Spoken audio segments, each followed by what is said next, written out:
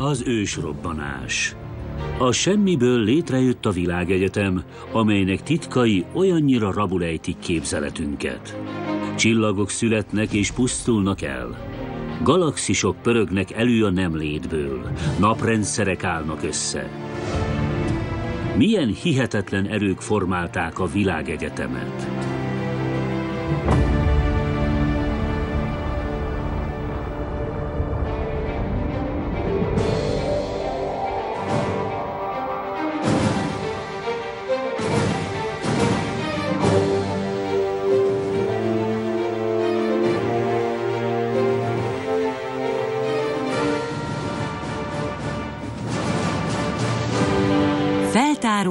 Kozmosz. Erők.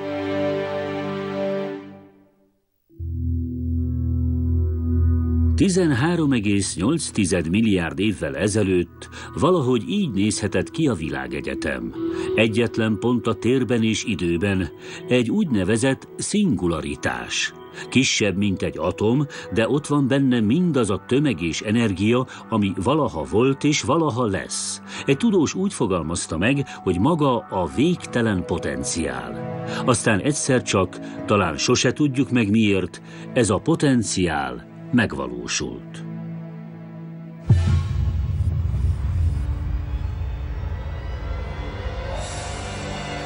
Az ősrobbanásnak nevezett esemény elképzelhetetlen erővel zajlott le. A semmi helyét vakító, örvénylő energia vette át.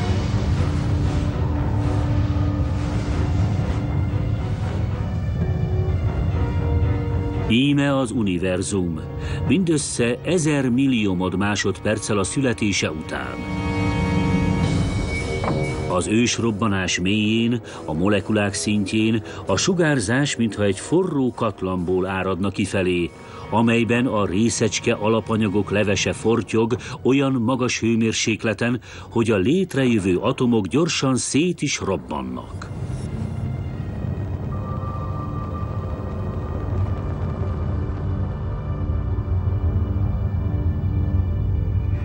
Egyetlen mikroszekundummal az ősrobbanás után, ha képesek lennénk egy több fényévnyi távolságra lévő pontról megfigyelni a táguló univerzumot, ilyen hatalmas energiahullámokat látnánk szertefutni, ahogy maga az űr kialakul.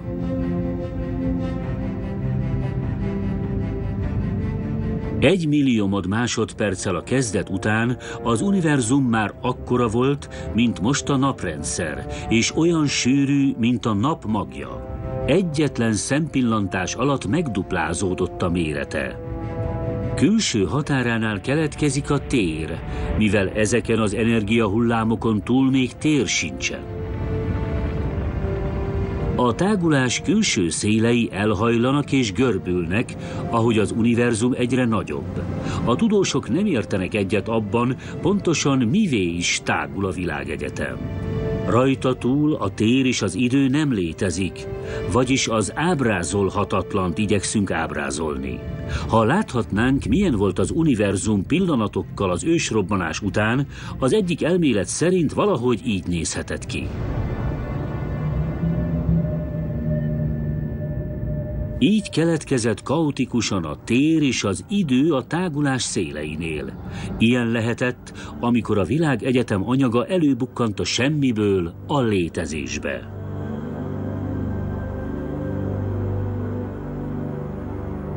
Miközben a széleken a tér és az idő keletkezik, molekuláris szinten részecskék tengerét figyelhetnénk meg, ahogy a csökkenő hőmérséklet eléri a nagyjából egy milliárd fokot. Ha közelebbről is megfigyelhetnénk, hidrogén és hélium atommagokat látnánk. Az univerzum már éppen elég hűvös ahhoz, hogy ezek létrejöjjenek. És meg is teszik.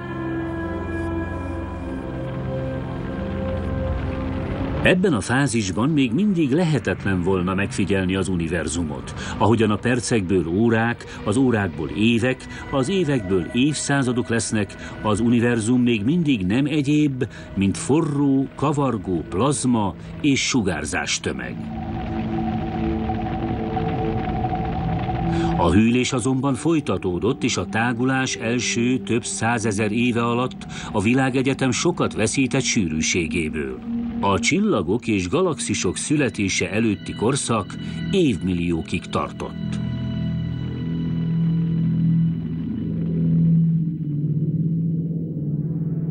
Mielőtt megnéznénk, hogyan születtek a csillagok, amelyek kivilágítják az univerzumot, vessünk egy pillantást arra, hogyan is tágul a világegyetem. Az univerzum drámai fejlődése során az egyetlen állandó tényező a folyamatos tágulás volt. Képzeljünk el egy lufit, amit lassan felfújunk. Ahogyan a lufi egyre tágul, a benne lévő csillagok és galaxisok távolodnak egymástól és a lufi középpontjától. Az űr egyre nő, de maguk a csillagok és a galaxisok ugyanakkorák maradnak. Az univerzum jelenlegi tudásunk szerint továbbra is egyre tágul. Bár nem ismerünk olyasmit, ami összevethető lenne az ősrobbanás erejével, még mindig vannak az univerzumban elképzelhetetlenül nagy erők, amelyek épp olyan csodálatosak, mint a tér és idő kezdete. Az ősrobbanás után évmilliárdokig nem voltak csillagok, de a világegyetem már próbálgatta a módszereket, amikkel majd létrehozhatja őket. Ezeknek a korai csillagoknak a magvai azokban a hatalmas hidrogén felhőkben rejtőztek, amelyek végül akkora sűrűséget értek el, hogy hidrogénbombához hasonlatos nukleáris robbanás zajlott le bennük. Ragyogó, ám rövid életű behemótok születtek belőlük, amelyek a mi napunknál százszor nagyobbak és egymilliószor fényesebbek voltak és bár ezek az első protocsillagok csak nagyon rövid ideig, mindössze egy millió évig égtek, megjelenésük örökre megváltoztatta az univerzumot. A kozmoszban véget ért a sötétség kora. Minden, amit ma látunk és tapintunk, ezekből a korai csillagokból jött létre. Így kezdett létrejönni saját naprendszerünk is 4,6 milliárd évvel ezelőtt. Egy szupernova romjaiból származó csillagközi gáz és por elkezdett összeállni egy molekuláris felhővé. Ez volt az úgynevezett szoláris köd. Amint ez a felhő összeomlott, közepe egyetlen forró, örvénylő nukleáris kazánná vált. Így született a nap.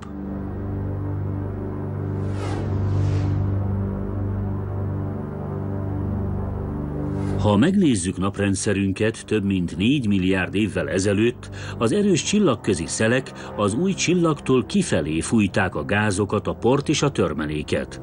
Molekuláris anyagtömbök keletkeztek és kezdtek keringeni körülötte.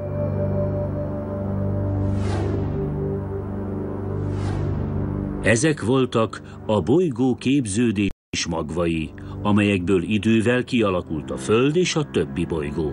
Ahogyan megtöltötték a naprendszert, egyre nagyobb tömbökké álltak össze, míg végül akkora tömeget értek el, hogy már számottevő saját gravitációs mezőjük volt.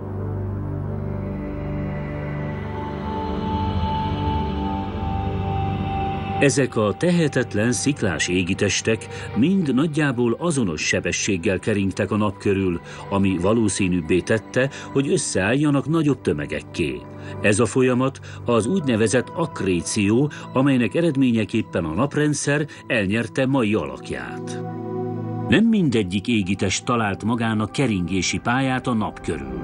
Némelyik jeges kőtöm pályáját elhagyva üstökössé vált, és örökös vándorlásra kényszerült a naprendszer távoli vidékein.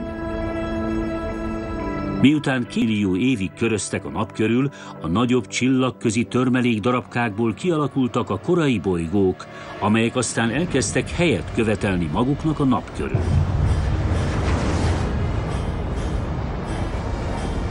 Az eredmény egy protoplanetáris korong lett az űrnek ebben az akkoriban viharos szegletében.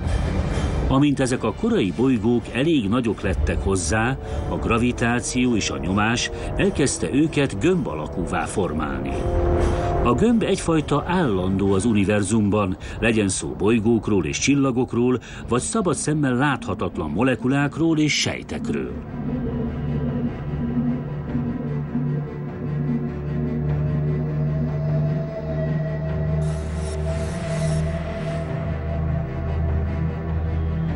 Mind ugyanazt a kozmikus táncot lejtik, legyen szó az atommag körül keringő elektronokról,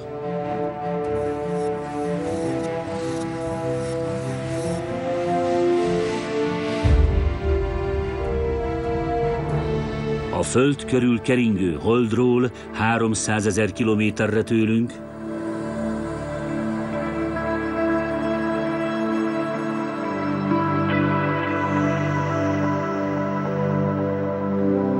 vagy a nap körül keringő közelebbi és távoli bolygókról. Valamennyien a szférák táncát lejtik.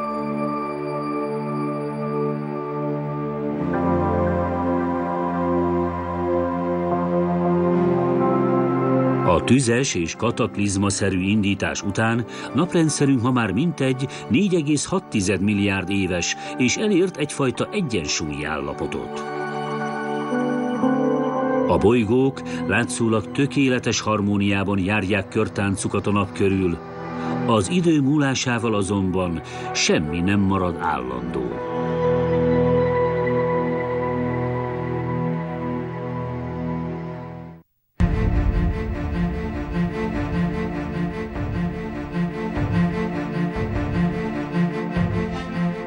200 millió évvel az ősrobbanás után az univerzum még nagyon más képet mutatott, mint manapság. Még nem voltak se bolygók, se galaxisok. Csak gázfelhők és néhány protocsillagnak nevezett instabil égitest, amelyek hatalmas izzó hidrogéngömbök voltak, majd amikor az összes hidrogénjüket elégették, összeomlottak.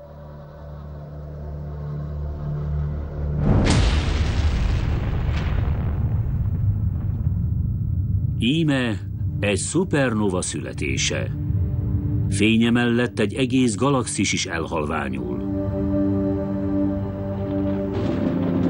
Ezek a szupernova robbanások nem csupán fénybe borították az univerzumot, hanem korábban nem is létező elemeket, például szenet és oxigént löktek ki a csillagközi gázfelhőkbe, megváltoztatva ezzel azok összetételét.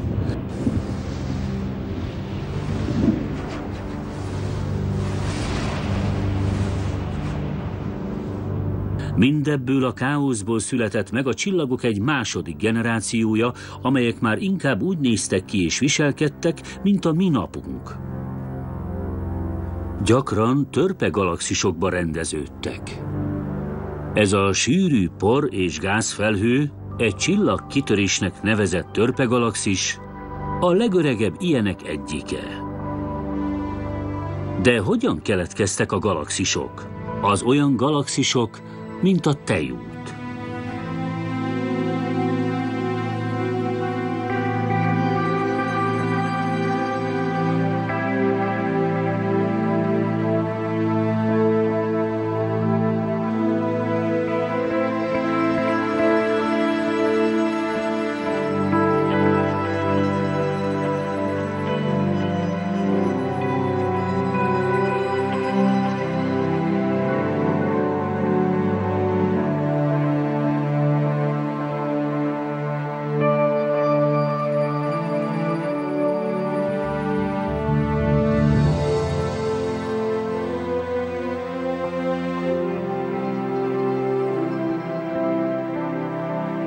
Bármilyen hatalmasok is a galaxisok, mindig a közepükben ható erők működtetik őket.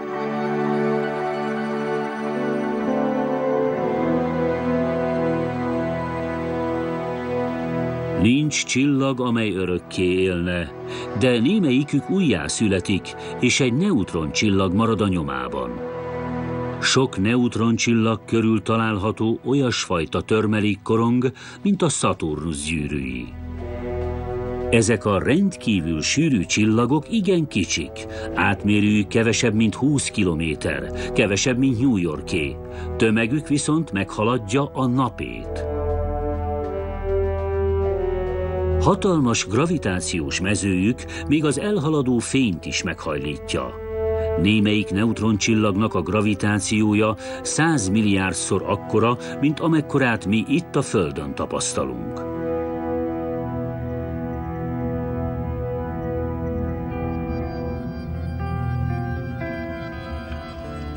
Hogyan lehetne érzékeltetni, milyen itt a gravitáció? Egy neutroncsillagon olyan sűrűségű az anyag, hogy egy kocka cukor, már ha lenne olyan kanál, amelyik elbírja, ugyanannyit nyomna, mint a Földön a Mount Everest.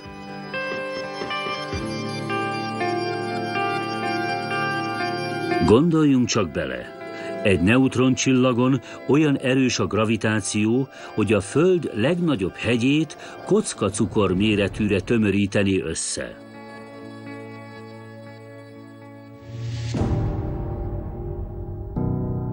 Egyes neutroncsillagok mágneses, illetve forgástengelye nem esik egybe. Ezért ragyogó fénypászmák pásztázzák körülöttük az űrt, miközben vadul pörögnek a tengelyük körül. A csillagászok csak 1967-ben pillantottak meg a távoli űrben egy villódzó csillagot, valójában egy sziális fajta neutroncsillagot, egy úgynevezett pulzárt. A nemrég felfedezett fekete özvegypulzár arról kapta a nevét, hogy lassan kiszívja az életet kísérő csillagából, amely 93 percenként megkerüli. Pulzár hatalmas mágneses mezője elszipkázza a csillag tömegét, ahogy másodpercenként csak nem 400 fordulatot téve pörög, és pulzáló fénycsóvát bocsát ki magából.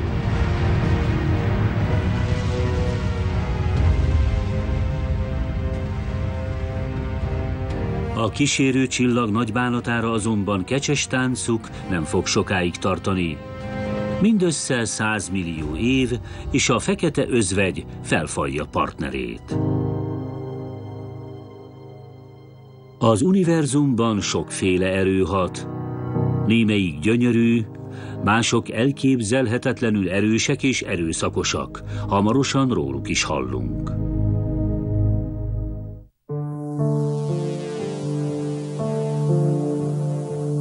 Egy szinte elhanyagolható tömegű kavics. De mi lenne, ha épp akkora erővel ütközne össze egy aszteroidával, ami már enyhén kitéríti az eredeti pályájáról? Ezek azok a véletlenszerű, megjósolhatatlan ütközések, amelyeknek az esélye egy a millióhoz, és amelyekből a naprendszer kialakulása idején nem kevés történt. Egy véletlen ütközés könnyedén előidézhet akkora pályamódosulást, hogy ezer évvel később az aszteroida egyenesen egy formálódó bolygó felé száguld.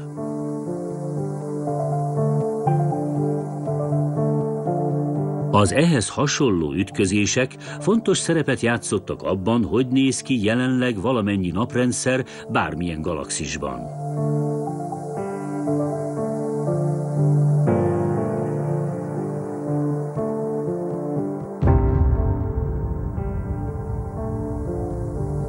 Törmelékmező keletkezik, és a bolygó felszínén új kráter jön létre.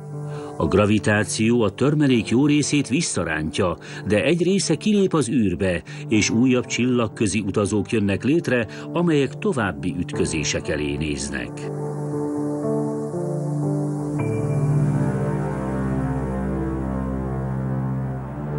Négy és fél milliárd évvel ezelőtt egy ilyen találkozás világra szóló ütközés formájában zajlott le. A tudósok csak nagy becsapódásként emlegetik.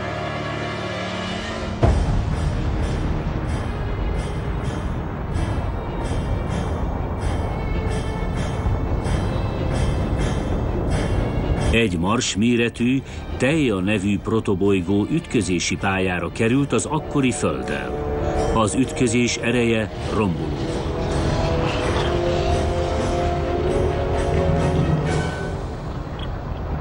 A teja egészen a föld magjáig hatolt. A föld köpenyéből származó anyag egy része és az, ami a tejából megmaradt, keringeni kezdett a bolygó körül. Az ütközésből származó törmelék, a por, kőzet darabok és a föld magjából származó olvat magma állt össze végül sziklás kísérőnké, vagyis a holdá.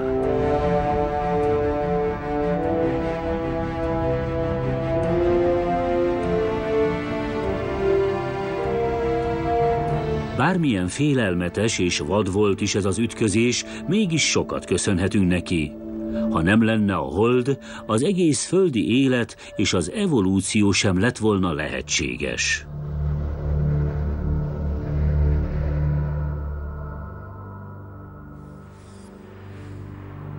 Az űr más részein olyan léptékű találkozások zajlanak le, amilyeneket csak a skifikből ismerünk. Látványos összeütközések sűrű csillaghalmazok tagjai között.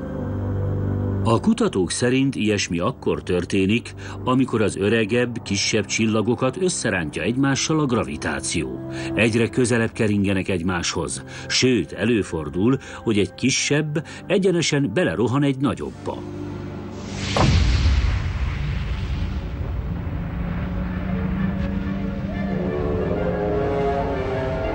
Ez a tánc számtalan helyen zajlik univerzum szerte, különböző galaxisokban, ahol napszerű csillagok rohannak egymás felé.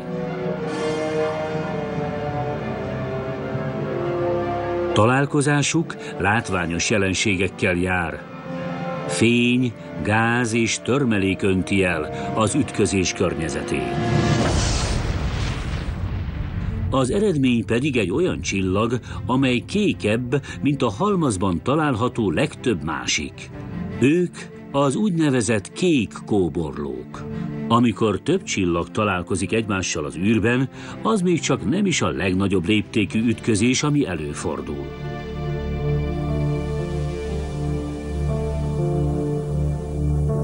A Hubble űrteleszkóp nemrég fedezett fel két csillaghalmazt, amelyek épp az összeütközés fázisában vannak.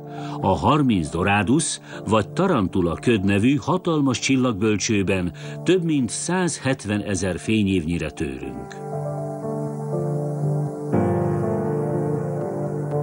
A gravitáció erői egyre közelebb húzzák ezeket a csillaghalmazokat egymáshoz, egyetlen sűrű, fénylő gázokkal teli térségbe.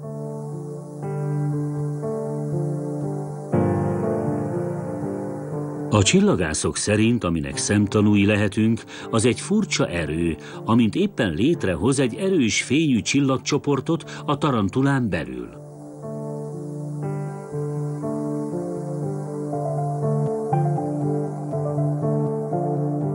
Egy-egy ilyen területrendezésnél azonban nem minden lakó marad meg a környéken. A tudósok felfedeztek egy szökevénycsillagot, amely alig ha nem a Doradus belsejében zajló nagy összeolvadásból szabadult el. A legtöbb csillag, mint a mi napunk is, szabályos mozgást végez. Nos, ez nem. A tudósok szerint legalább egy ilyen szökevény csillag szabadult el minden csillagközi ütközés nyomán. Az a bizonyos csillag, amelyet megfigyelnek, hatalmas égitest, több mint 90-szer olyan nehéz, mint a nap, és több mint 600 ezer kilométer per órás sebességgel halad. A számítások szerint már több mint 375 fényévet tett meg születési helyétől kiindulva. Magányos vándor a sötét űrben.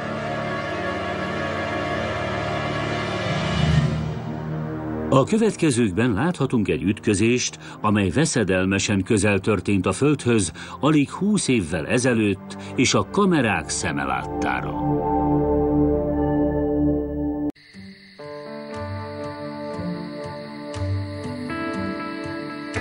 1993. március 24-én Caroline és Eugene Shoemaker csillagászok David Levy kíséretében egy kaliforniai obszervatóriumban voltak, amikor felfedeztek egy a Jupiter körül keringő üstököst.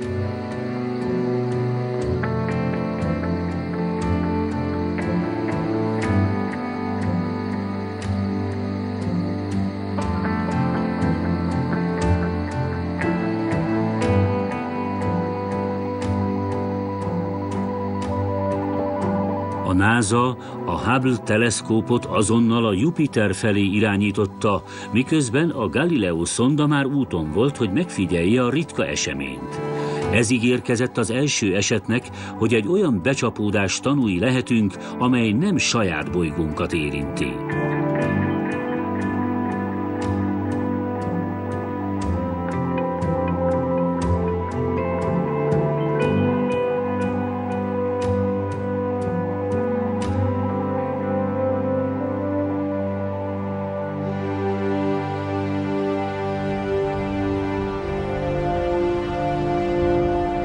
A további megfigyelésekből kiderült, hogy az immár Shoemaker Levi névre elkeresztelt üstökös valaha hatalmas tömegű volt, csak az óriás bolygó gravitációja csapdába ejtette. Egy közeli elhaladás során aztán az üstökös elkezdett darabjaira hullani.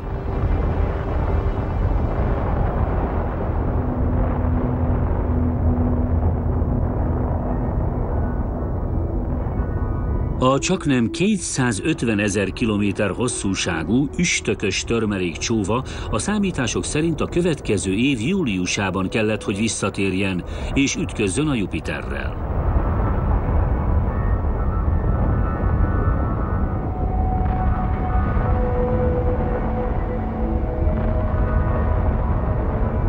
...1994. július elején a Jupiter felszínére valóságos meteorzápor hullott.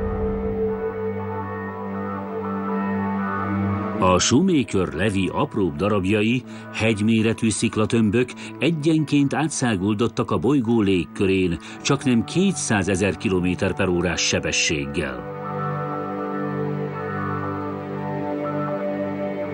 Némelyikük azonnal el is párolgott de a nagyobb tömegű darabok óriási tűzgolyókká változva csapódtak be, és hatalmas lökés hullámokat keltettek szerte a bolygó felszínén.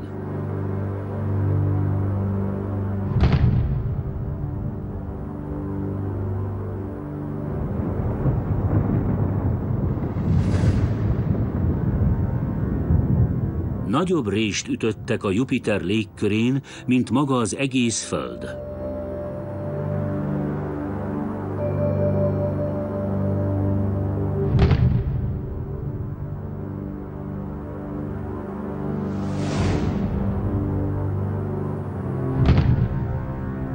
A becsapódások nyomai élénkebben látszottak, mint a Jupiter híres vörös foltja.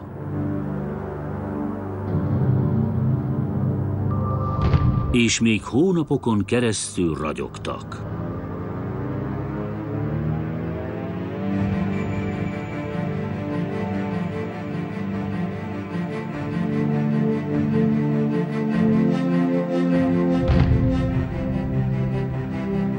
Ez volt az első eset, hogy sikerült közvetlenül megfigyelnünk egy ilyen nagyságrendű becsapódást itt a naprendszerben. A jelenség jól példázza a Jupiter gravitációjának rendkívüli erejét.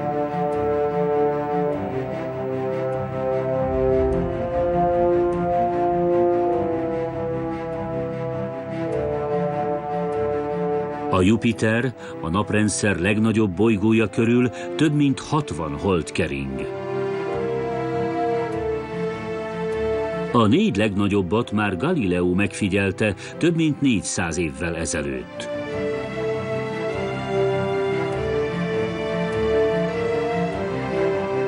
Rajtuk kívül azonban még több tucatnyi kisebb, szabálytalan alakú hold is megfigyelhető, amelyeket a Jupiter gravitációs mezője vonzott be és tart fogva.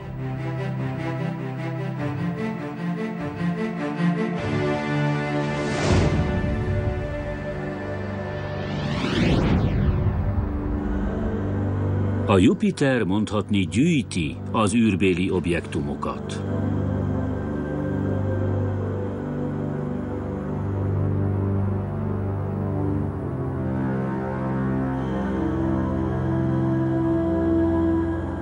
A nap körül keringő legnagyobb bolygók a naprendszer távoli külső vidékein találhatók. Ők a gázóriások, mint a Saturnus, Uranus és a Neptunus.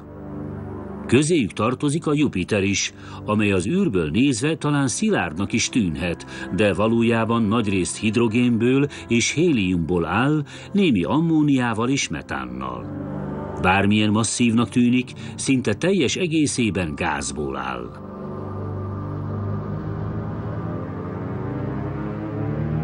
Meg sem tudnánk állni a felszínén.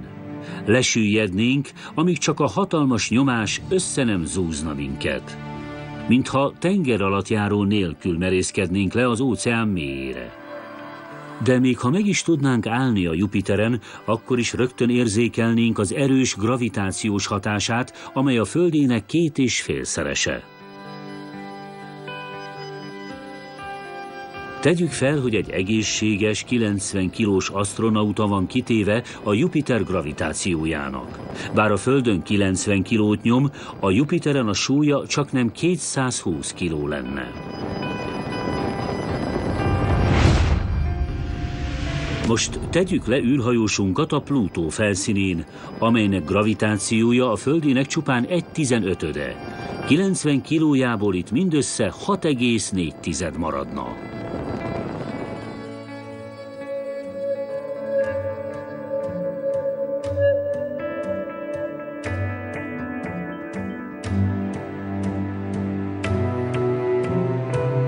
Ha valaki a föld fölött lebeg, úgy tűnhet az űrben nincs is gravitáció. Valójában azonban zéró gravitáció nem létezik. Az univerzumban mindenütt van gravitáció. A gravitáció tartja nap körüli pályán a bolygókat, és a gravitáció tartja össze az anyagot is. Gravitáció nélkül nem létezne semmi.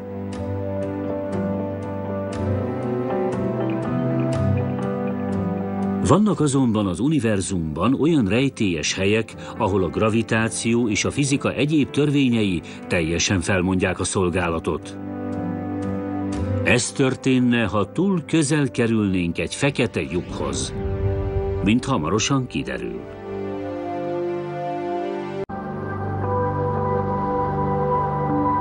A fekete lyukak nem sokkal az ősrobbanás után kezdtek el keletkezni. Olyankor jönnek létre, amikor egy nagy tömegű csillag összeomlik és szupernovává alakul. Próbáljunk elképzelni egy ilyen rendkívüli méretű és intenzitású robbanást, amely tökéletes csendben zajlik.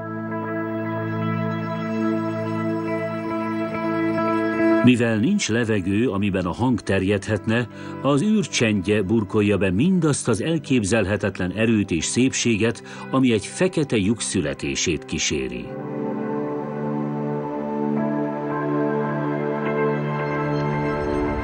A hangtól eltérően a fény légüres térben is tud terjedni, elektromágneses energia formájában. Vannak az univerzumban olyan helyek, ahol akkora erők működnek, amelyek egész csillagokat préselnek össze és nyelnek el. A fekete lyukakban olyan erős a gravitáció, hogy még a fény sem képes elszökni belőlük.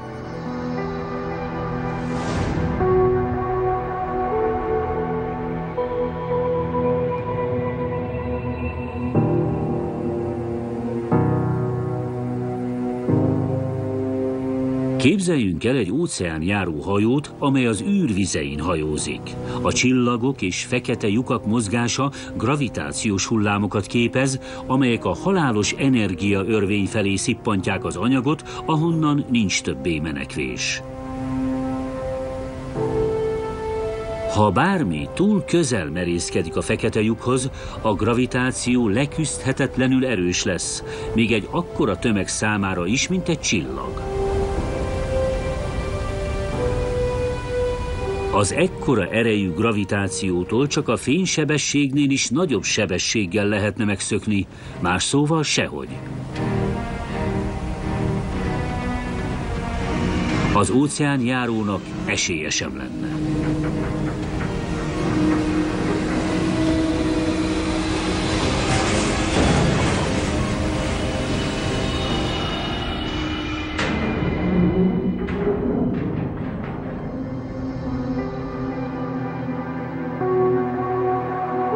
A NASA már elkezdte olyan műholdakkal és űrteleszkópokkal kutatni az univerzumot, amelyek kifejezetten óriási fekete lyukak után kutatnak.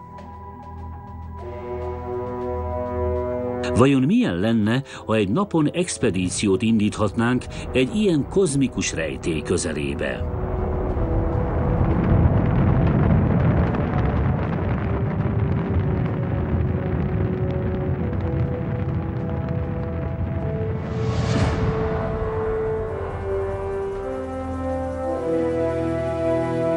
A tudósok már számos fekete lyukra bukkantak a tejúton belül.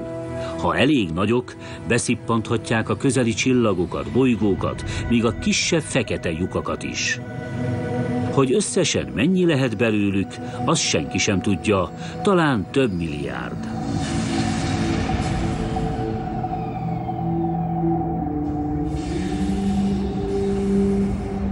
A jövőbeli felfedezőknek, akik egy fekete lyukat akarnak szemügyre venni, jó lesz vigyázni, ne kerüljenek túl közel, mert különben az extrém gravitáció hatalmas kéz módjára berántja őket a fekete lyukba, és kalandjuk szörnyű véget ér.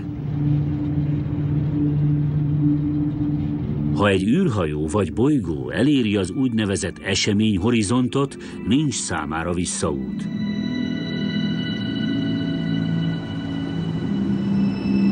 Kisebb fekete lyukak esetében a gravitáció a középpont közelében erősebb.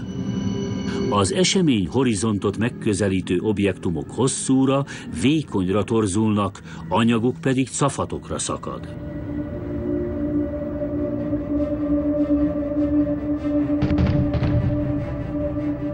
A dolog a következőképpen működik. Képzeljük el, hogy a NASA három kísérleti űrszondát indít útnak egy fekete lyuk tanulmányozására. Adatokat gyűjtenek és visszaküldik őket, amíg csak el nem érik az eseményhorizontot. Ezen a ponton a három szondát hatalmába keríti a tudósok által spagetti hatásnak nevezett jelenség, egy mikroszekundummal teljes megsemmisülésük előtt.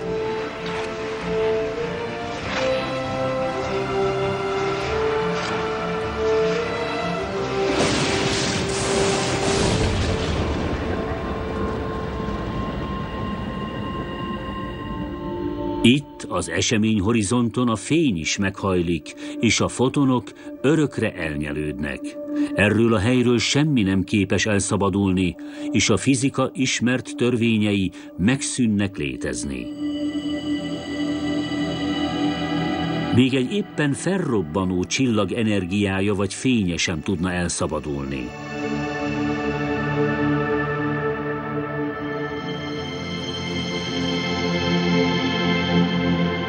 Sem ember, sem gép nem tudna tudósítani mindarról, ami ezután történik.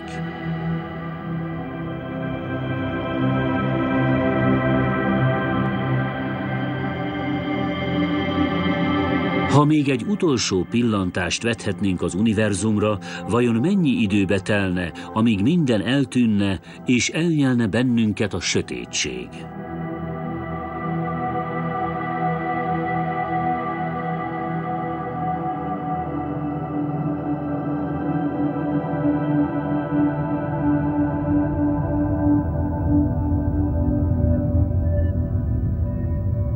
A fekete lyuk börtönének mélyén állítólag van egy hely, ahol a fotonok összegyűlnek, és ahol a hőmérséklet a pokolbéli 20 millió fokot is eléri, amelynél a neutronok is megolvadnak.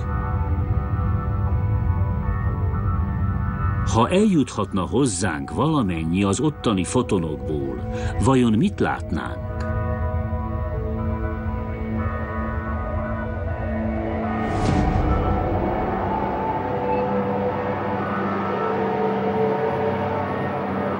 Einstein általános relativitás elmélete értelmében létezhet a téridőnek olyan görbülete, amely egy féregjük néven ismert elméleti csatornán keresztül két téridőben távol eső pontot köt össze egymással. Lehetséges volna, hogy a féregjukak átjáróként működnek az univerzum távoli pontjai között.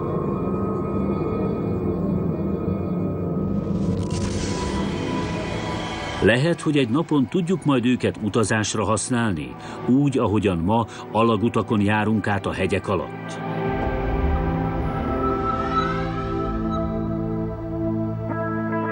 Az univerzumunkban ható erők extrémek. Hamarosan megmutatjuk, milyen véget érhet egyszer az univerzum. De ne aggódjanak, ezt mi már úgy sem fogjuk a saját szemünkkel látni.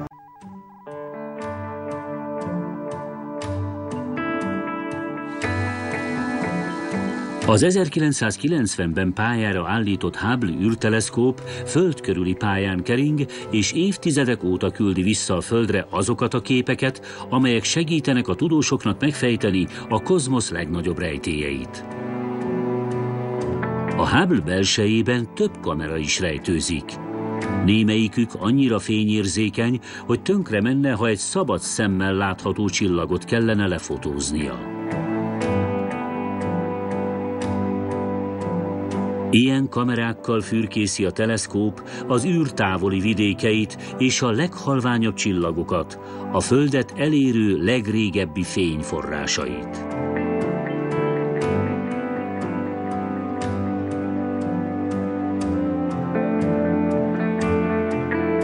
Hubble 1995 óta készít felvételeket az úgynevezett mély ég objektumokról. Vannak olyan képei, amelyeken több ezer galaxis látható.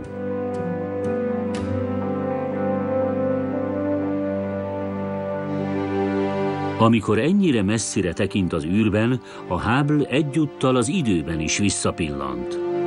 A múlt pedig sokat mondhat a jövőnkről is.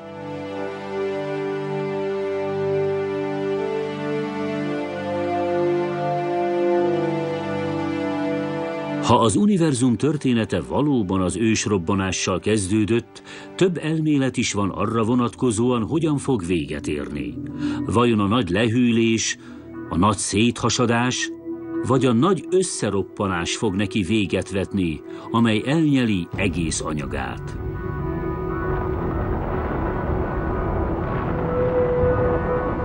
Kezdjük a legbékésebb elmélettel, hogy legyen időnk hozzászokni a gondolathoz, hogy az univerzumnak egyszer mindenestől vége lesz. Aztán rátérhetünk a legborzasztóbb végkifejletet sejtető elméletre.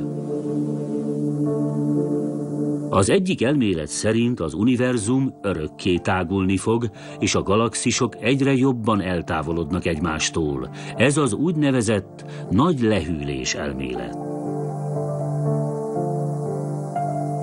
Idővel, hosszú-hosszú évmilliók alatt a csillagok energiája lassanként elfogy, és szépen egyenként kihújnak, és az égbolt mindinkább elsötétül. Az univerzum egyre csak tágul tovább, lassan, de soha meg nem állva, amíg nagyon sötét és nagyon hideg nem lesz. A Földet is ugyanez a végzet éri utol. Idővel csökkenne a napból érkező hő és fénymennyiség. ami csodálatos napunk elhasználja az összes hidrogént, és vörös óriássá dagad, mielőtt végképp kiégne. Végül aztán az univerzum, és vele a Föld véget ér, és beköszönt a nagy lehűlés.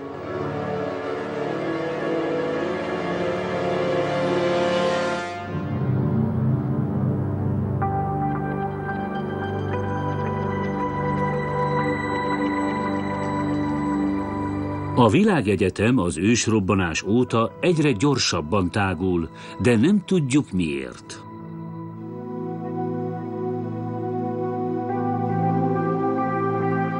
A csillagászok szerint a sötét energia lehet a gyorsulás oka. Erről még nem sokat tudunk, de a tudósok szerint az univerzum 70%-át a sötét energia teszi ki. Einstein jött rá elsőként, hogy a légüres űrnek is vannak tulajdonságai, és megjósolta azt is, hogy talán saját energiája is van.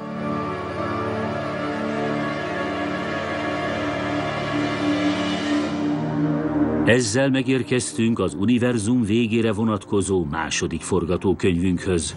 Ha valakinek már a nagy lehűlés is sok volt, jobb, ha most behunja a szemét. Ahogy egyre több űr keletkezik, egyre több lesz a sötét energia is, amitől az univerzum egyre gyorsabban tágul, míg csak a gravitáció végképp meg nem szűnik.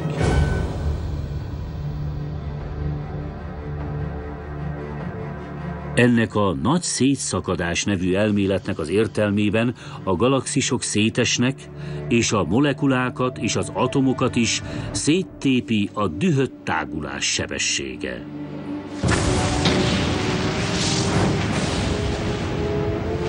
Végül a csillagok, bolygók és minden más csak cafatokban lenne egy olyan univerzumban, amelyben nincs gravitáció és semmiféle felismerhető szerkezet. És mindez a titokzatos sötét energia miatt, amely mintha az űr rákfenéje lenne. Ha az ősrobbanás erőszakos esemény volt, a nagy szétszakadás még inkább az lesz. Van azonban jó oldala is a dolognak. Azok a fizikusok, akik ebben az elméletben hisznek, azt állítják, hogy a nagy szétszakadásra újabb 22 milliárd évig nem kerül sor.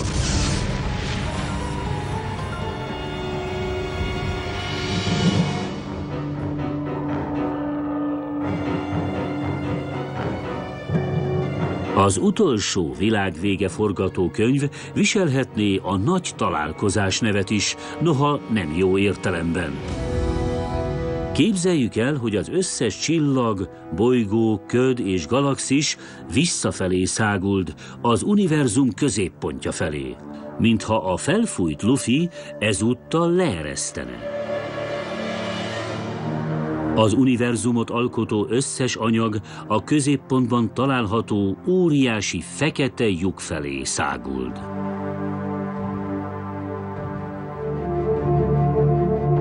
Ez a nagy összeroppanás néven ismert elmélet, és alig ha világos, merre is tart a dolog. Ez az ősrobbanás csak visszafelé lejátszva. 10 vagy 20 millió év alatt az anyag összessége egy nulla kiterjedésű, végtelen sűrűségű ponttá zsugorodik. Egy szingularitássá. És aztán pedig talán, ki tudja, kezdődik előről az egész. A magyar változatot a Spektrum Televízió megbízásából a Masterfilm Digitál készítette.